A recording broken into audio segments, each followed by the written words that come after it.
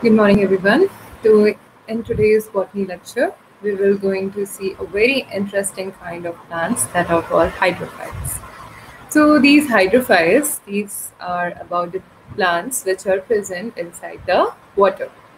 That's why we call them the hydrophytes. Hydro means water and phytes means plants.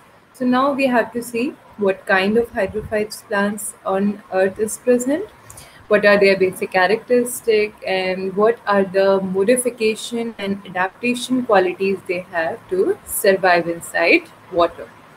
Let's begin the introduction part here.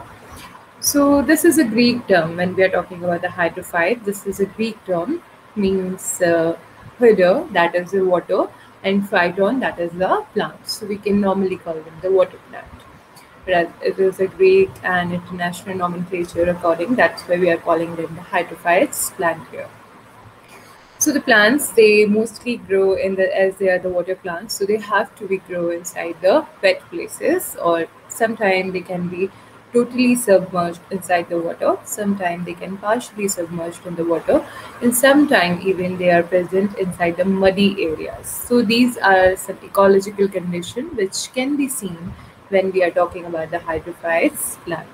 There are some very well example of the hydrophytes plant like Utricularia, Vallisneria, Hydrilla, Chara, Nitella, Lotus, Ceratophyllum, Trapa, Pistia, Acacia. So these are the very, you can say these are the very uh, objective plant which uh, tell us all the characteristic features which are present inside the hydrophytes plant also some Wolffia.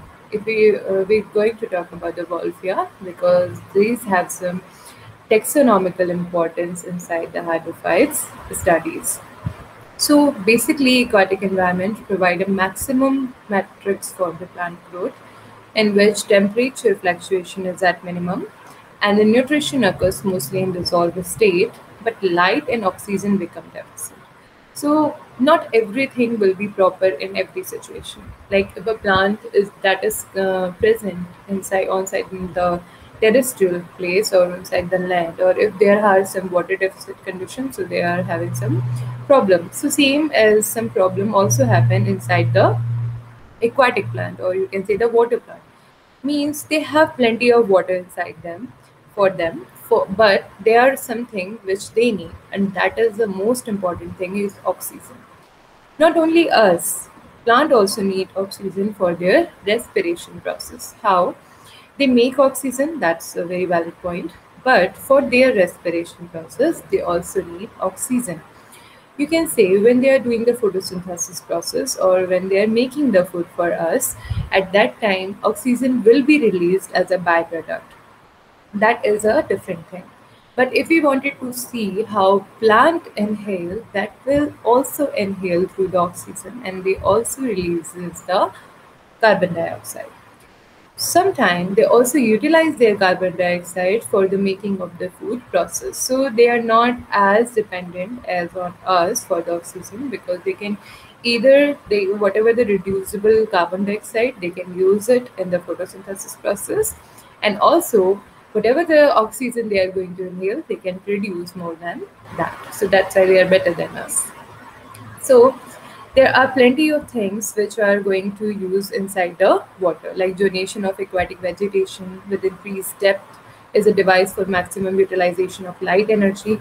So that depend like how the light energy will be uh, using for the making of the food and anything this is also uh, affect the plant growth and development process, like the intensity of light or in what depth plant is present. So there are several things which are going to influence the developmental pattern of the hydrophytes. Let's begin.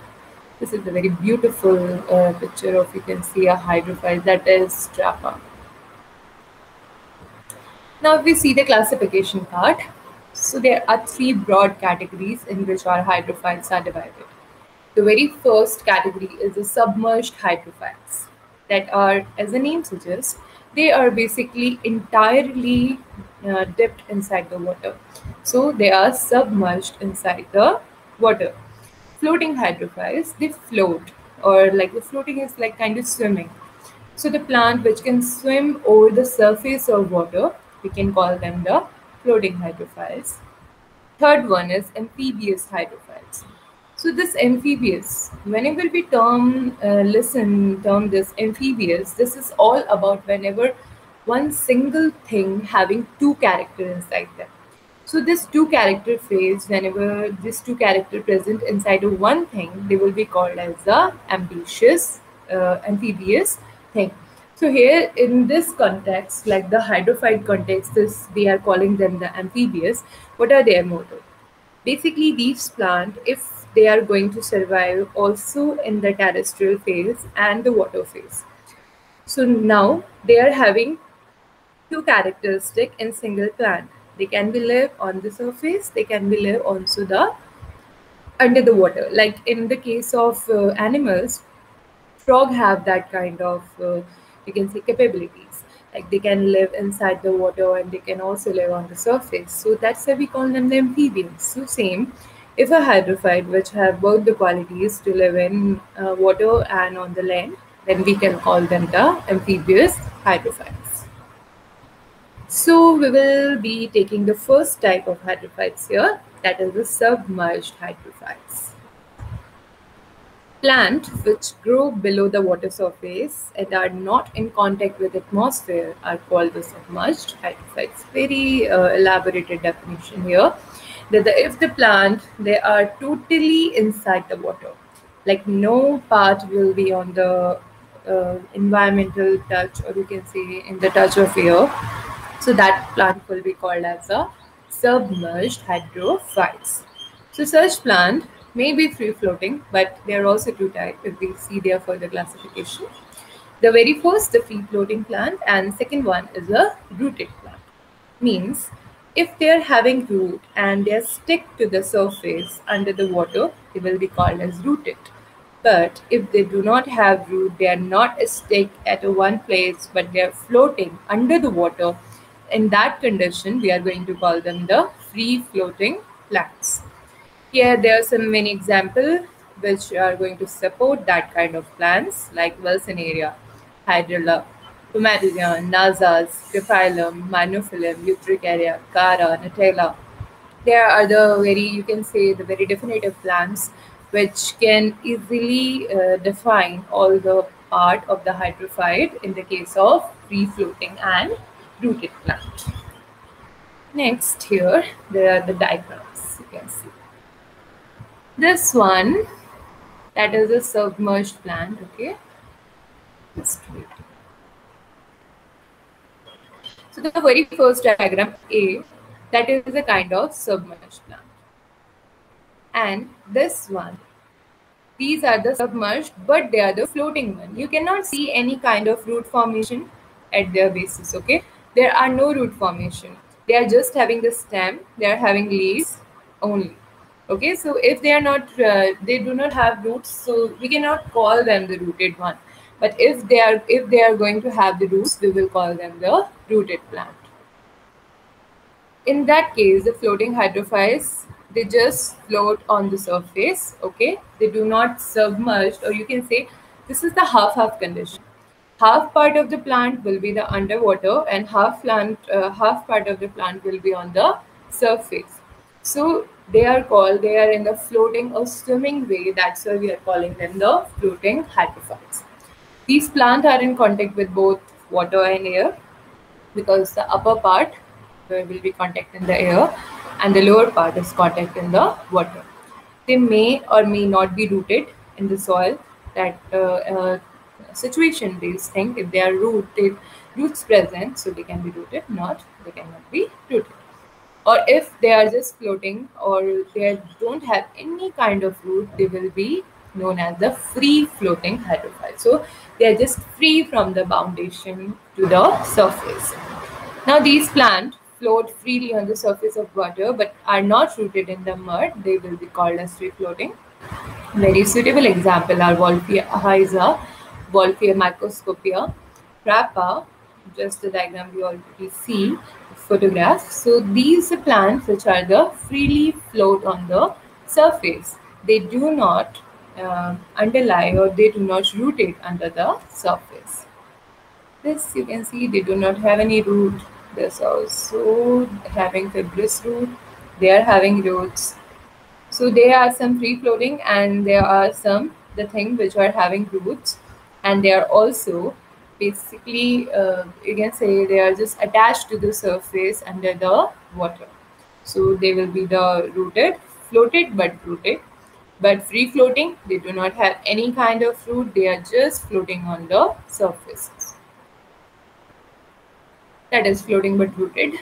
So submerged plants are rooted in muddy substrate of pond, river and lakes, but their leaves and flowering shoots float on above the water surface. So basically their roots, the plant having three fundamental part. One is the stem, second one is a root and third one is a leaf. So these stem and leaf portion, the leaf and if they are having the flowers at that time, so the leaves and flower, they will be floating on the water surface, but their downward stem portion and their root, they will be under the water. So if this kind of situation will be seen inside the plant, they will be called as a floating but rooted. And a very good example of floating but rooted is lotus. A significant lotus is an example of floating but rooted hydrophytes. Victoria regia and uh, Keratopatris, Thelycoda, these are all the, you can say they are the very variety of the plant which are present inside the plant body. You can see the diagrams here rooted hydrophytes diagram with floating leaves. You can see these diagram. They are like uh, this one, the very beautiful lotus here. You can see the lotus have a very large petioles. These are not the stem lines, okay? These are the petioles. So uh, basically, their uh, roots uh, which bind them to the surface, but their long petiole lift the uh, leaves and the flower to the float on the surface. So major role of the uh, floating but rooted plants, they have been played by the petiole and they are larger uh, lamina based of the leaves. So they are larger lamina based leaves and these long petiole, they needed to be play a very major role for the floating of leaf and flower. Now third type, that is the amphibious type of the hydrophytes. So let's look on the amphibious type of hydrophytes. So as uh, I already told you about the how the amphibian plant look alike or what are their basic characteristics. So these plant, they are adapted to both aquatic and terrestrial mode of life. So they can be live inside the water or they can also live inside the on the surface. So the amphibious plant, they sometimes grow in a shallow water on the muddy substratum. Okay, what happened? Like uh, if a time is a monsoon, okay, and some plants which are growing near the river bank or the pond or the lake, what happened when the rain comes? That area becomes shallow or muddy so that shallow uh, water area or the muddy area at that time if a plant can grow inside that situation also. But as the rainy season went off and the winter's coming or the summer's coming at that time also that plant living on that terrestrial plane. So this uh, type of the plant which can be uh, found for both the type of situation they are the true kind of amphibious plant because in this situation climate do not have any role to play. In this situation the plant have to play their major characteristic their adaptation quality. How they're adapting for each and every kind of weather. And their uh, uh, you can say their changes their mutation they work on them and they make them like ubiquitous like they can be present anywhere or present in any kind of situation so amphibious plants which grow in saline marshy places are termed as a halophytes. They're another term which can be used, but that is a conditional term. Conditional for salinity. If some uh, plants which grow in a high saline nature, okay, the plant having the high salinity. So this salinity based plants which are growing inside them, they can call the halophytes, okay don't uh, forget this these terms they are very important when you are going to uh, run long botany classes that the halophyte hydrophyte xerophytes epiphytes and charophytes. So these uh, terms which you have to be remembered. Root and some part of the stem and leaf in these plants may be submerged in water or buried in mud, but some foliage, branches, and flowering shoots spring well above the surface. So in that case only, they are also like a little like the submerged plant, well, like uh, some part of there that can be under the muddy area, and the upper part like the leaf, their above uh, upper stem portion, their flower, they will be over the land. You can see the diagram, the very clear diagram here. These are the roots. Okay, this uh, till that these are under the water. This is the rooted emerged hydrophytes, okay? Rooted emergent. So till that portion, they will be under the water. Like you can see a light, uh, this uh, grayish appearance, that is for the level of water. And the upper portion, that is on the, if they are on land, they will be on land. If they are on the inside the water, they will be above the surface of water. Next here, the hydrophytic adaptations. Now, whatever the thing we studied, for those things, for those things to be happen inside the plant, plant needed to do some adaptations or plant needed to do some changes. And this is very important, like how plant make them at this level of competence to have these all features inside them. So very first morphological adaptations here. So morphology, we all know the thing we can see from the outside structure. Okay, so any outside structure like color, like structure, shape, that is come under the morphological analysis. So what kind of morphological adaptation plant can do for living in a hydrophytic, hydrophytic situation? So very first, what are the changes or what are the adaptation which come under the root?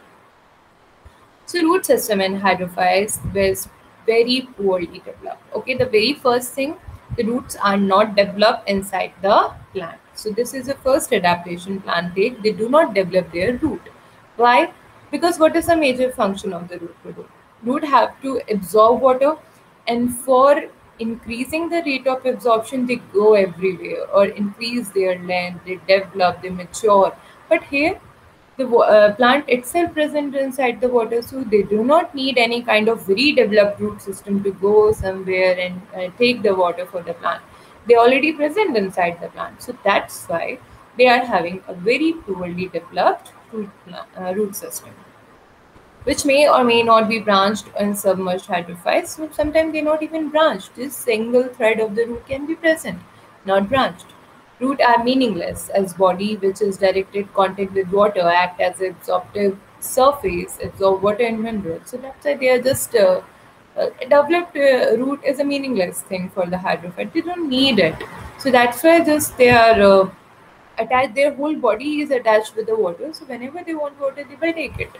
So they, this may probably be the reason why and hydrophytes are reduced or absent. That obviously this is the reason. Roots of floating hydrophytes show very poor development of root hairs. Sometimes they do not have any kind of root hair also. Now we will talk about the stem. So what are the modifications will stem take place here? In aquatic plant, a stem is very delicate and green and yellow in color. In some cases, it may be modified into rhizome or runner. Now, why the stem is very delicate here? First, uh, first of all, why they are delicating? Because if something remains inside the plant, that thing weaken naturally. Okay, if you uh, dip something out, like if we have to make some cereals, or we wanted them to be weak out, we just soak them in inside the water a day earlier. So this is the same thing happens with that poor stamps because they needed to be uh, dipped out inside water to, through all their life. So that's why these stem are delicate green because they need to do the photosynthesis because sometimes leaves are not present and sometimes they are floating. So that's why they have to be green to do the function of photosynthesis Modification in rhizome, why we why they do that? Because rhizome is a combination feature of root and stem. So there are no root uh, developed root present here. So their stem uh, basically behave like a weakened root portion. Runner, runner. So that's why runner formation is happen because they just uh, floating like on the surface. So that's why they don't have that much rigidity to be maintained inside or rigid characteristic. That's why they can be function as a runner. I will show you the diagram in 8.2 figure that how a runner look like. Leaves. So if we talk about their leaves, that they are generally palliate. Okay, palliate, long, circular, light or dark in green, thin or very smooth. So they can be like anything. Okay, they can be palliate, they can be long, they can be circular, sometimes color differ, sometimes dark, sometimes light, thin and very smooth. But what is the most important thing is here that their upper surfaces, if they are exposed in the air, and lower surfaces are generally in touch with the water. So at that time, the presence of the stomata that matter. Okay, stomata have to be present for the transpiration. So at the upper surface, there are most of the stomata present. What happened inside first take it this uh, in normal plant stomata always present on the lower side of the leaf. But in hydrophytes for increase the rate of reaction uh, rate of transpiration their stomata is present on the upper side because they do not have to worry about the water how water will be transpirated okay so that's why there is stomata present on fully flash mode on the upper surface of the leaf and the they do as much transpiration they can do. Next, plant petiole of leaves show indefinite power of growth. So this is also a very important feature. What happens inside a terrestrial plant, their petiole is very small, like, like one inch more, mostly one inch, two inch maximum. But in this case, there are several meters, like 10 meter, 15 meter. They can have, they do not have a uh, like definite growth pattern here. They just grow as the nutrition they take place. They divide meristematic cell dividing and dividing and increasing the length of the petiole. So this is the fundamental adaptation this leaf portion take for the floating purpose. They need to float and for the floating they need some long petioles. So this was all about the morphological features. Now we will have to see what are the physiological adaptation in take place inside the hydrophytes. So morphological is all about the outer thing, okay? But now the physiology is all about the inner portion.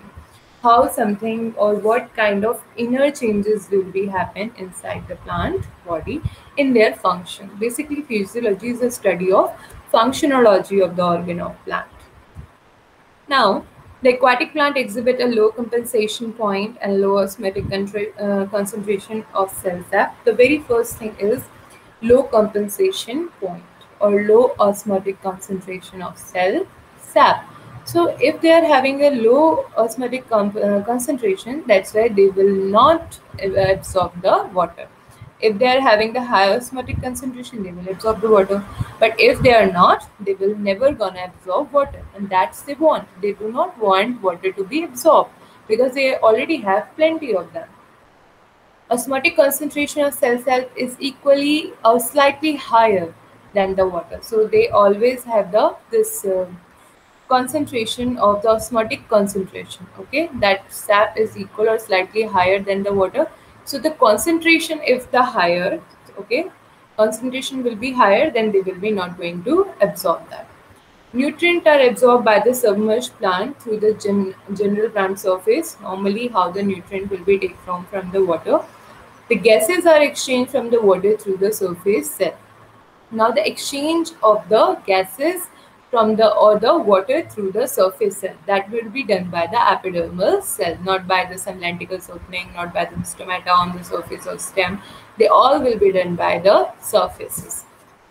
The gases produced during photosynthesis and respiration are partially retained in the air chambers of parenchyma to be utilized as when required. Now, their major issue is to store the air because they live inside the water they do not need water but what they need is air okay so their major concern is having air inside them so they made a very large air chamber inside their body and these large air chambers are known as parenchyma. So these parenchyma, they are abundantly present inside the these body of a hydrophytes. And this parenchyma are responsible to storing the air, even it can be reduced by the respiration, uh, released by the respiration, or it can be a byproduct of the photosynthesis. Either way, they are going to store the air, or whenever the plant going to need that oxygen or carbon dioxide, they just give it to them. So there is no transpiration from the submerged hydrophytes, the submerged, which do not expose to air. But if they are the free floating, their upper surface will do the transpiration. But if they are totally submerged, so they do not need the transpiration. So that's why they also do not have any kind of stomata in them. Emergent plant and free floating hydrophyte have excessive rate of transpiration. So because they have the surface contact, so that's why they can do as much transpiration as they can do. Mucilage cells. This is very important physiological thing inside a hydrophyte. That is mucilage cell and mucilage canal. Because if something remain inside the water, the ma major problem of there for the decaying. Okay, if the something lasts long inside the water, the major problem will come for the decay process. So that's why this mucilage cell and their mucilage canals, they basically help to restore the plant body. They do not let them to decay inside the water. So this is a major physiological adaptation, having the mucilage cells and canals to protect the plant body from decaying. You can see here there are also some reduced xylem cylinder because xylem have the function for the trans uh, sorry for transportation of the water but there no need of the transportation of water because every surface can get water from anywhere. So that's why their xylem is reduced. This otherwise xylem have a very high lumen very large size very large quantity of cells. But in the case of hydrophytes they are very reduced just because of that water thing. So uh, these all are the basic kind of the hydrophytes adaptation which are present inside the hydrophyte plants. Some also there are some evolutionary, uh, you can say some evolutionary adaptations also which come via the time. Evolutionary is a mutation on the basis of the time. So at that time also, because of the pollution has been increased, the water uh, thing is not as pure as it was before. So at that, uh, for surviving in that manner, or you can say surviving that polluted water, they also made something like on that.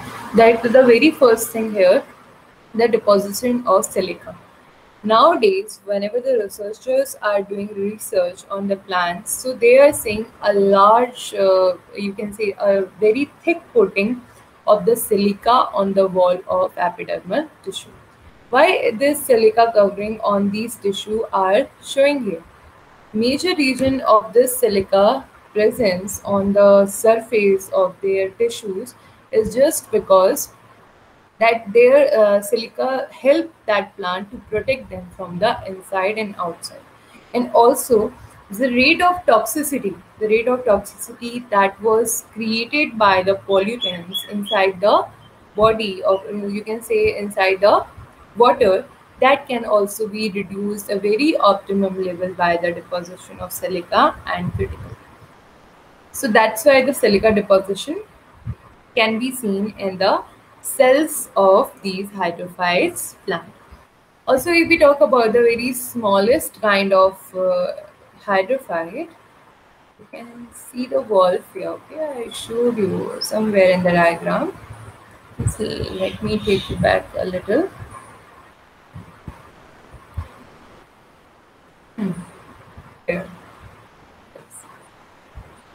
This is the smallest kind of the hydrophytes, the category of the wol uh, Wolffia.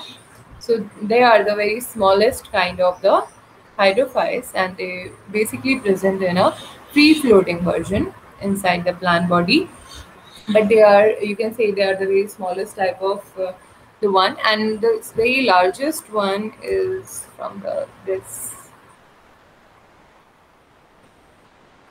This is a Nylopenthia type of the flower, which have a multiple petiolated version inside them. They can be the largest petiolated plant. So uh, because of their petiole size, like the 25 meter petiole size, that is the largest one. So uh, on the basis of that petiole size, we uh, you can say we determine them that they are the largest one. You can also see, uh, see that how the petiole can take a rumble position inside the pre-rooted uh, but hydrophytes plant. So their roots have to be uh, stick them inside the surface, but their uh, major proportion to hold on on the surface, they're just taking this rumble position also. So these kind of taking these kind of positions, uh, increasing their length of petiole, having the large pinna, these also come under the adaptation phase. These are, or you can see these are also a very important kind of adaptations that can be seen inside the hydrophyte plants. So I think this is all about the hydrophyte plant or you uh, understand it like uh, we are having three kind of hydrophyte in a summary way you see hydrophyte plant are the plant which live inside or little outside the water they can be broadly divided into three broad categories the very first is a uh, submerged hydrophyte which totally dissolved under the water second one is a free floating or floating um, hydrophytes which can be freely float on the surface of water or sometimes they can be rooted under the surface and their leaf or half portion of that plant are floating over the surface. At that time, we call them the floating hydrophytes. The very third is a amphibious type. So we already discussed the amphibious which are having the two character inside one body. So what are these two character here? Two characters are of like they can be live on the terrestrial means land and they can also live inside the plant body or inside the water body so when they are having this two kind of character inside of one body they will be called as a amphibious type of hydrophyte adaptation we already see so this is all about the hydrophytes now i think on the basis of these all i taught you you can be able to answer these questions. Like the heterophyllous plant are found as heterophyllous okay which are hetero or philous means which are having two character in them. So you can answer it. Among the following which is not a characteristic of hydrophytes so there are four options in which you have to find which is not a characteristic of hydrophyte plant. Third is hydrophyte have which one is the most suitable character is present inside the hydrophyte body. Fourth question is here. Plant growing near seashore will usually have xerophytic characteristic like thick leaves because why that plant which near the sea, okay, and is still showing the xerophytic characteristic means water deficit characteristic. So why they are showing that uh, water deficit characteristic? This is a little tricky question, but I think you will get it. Fifth question is an aquatic plant with floating leaves have what are their stomatal opening? They are floating leaves means they are connect, they are in contact with the air. So on which surface this stomata will be present? Sixth question here, plants such as Pantheras and Rhizophora are example of, we can use Rhizophora. I just told you a stem adaptation, so I think you will answer that on basis of that uh, elaboration. In general, a plant most likely to survive in area where temperature is high, relative humidity is low, and wind prevalent would have leaves. So, what kind of leaves will be present there? Hydrilla and Vallisneria are example of, I think you can answer it, like we studied already three type of hydrophytes, submerged, floating, and amphibian. And also I told you each and every example of all these kind of three plants. So I think now you will answer what kind of Hydrilla and Vallisneria plant. Which group of plant has a face physiological dryness? So I think physiological dryness. Dryness is means water deficit condition. I think you can answer it. Desert plant have longer root system because why the hydrophyte don't have longer root system but desert plant have i think on the basis of comparison with the hydrophyte plant you will be able to answer this question also next still this is all about the hydrophytes or water plants. These are also some references you can go through if you don't have any problem and you wanted to study in a little detail you can also go through these references and clear your doubts. But still if you wanted to know anything you have some confusion you wanted to ask from the lecture you can just ask me in a next lecture or just after this. Okay this is all for today i hope you understand all of the thing. Thank you